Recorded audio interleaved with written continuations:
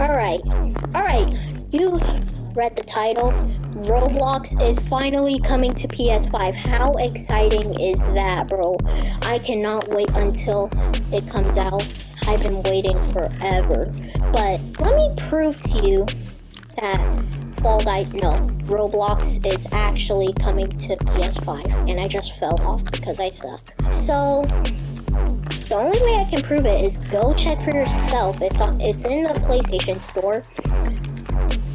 And uh, that's about it. And I literally suck at parkour, bro. Bro!